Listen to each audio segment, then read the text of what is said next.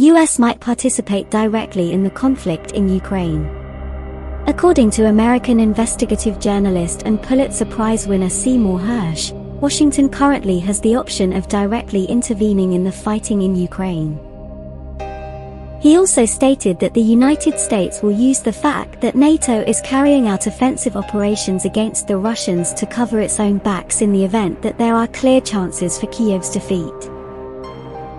We don't seem to be prepared, the publicist added, stressing that Russia hasn't even utilized its main forces in Ukraine yet. Do you really want to engage in combat with these men?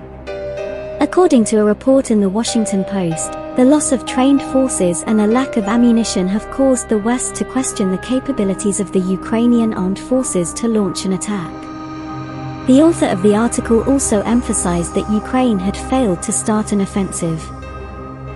The deepening of training programs and the supply of combat vehicles, such as Bradley and Leopard tanks, in November 2022, could result in criticism of the United States and Europe for postponing these things.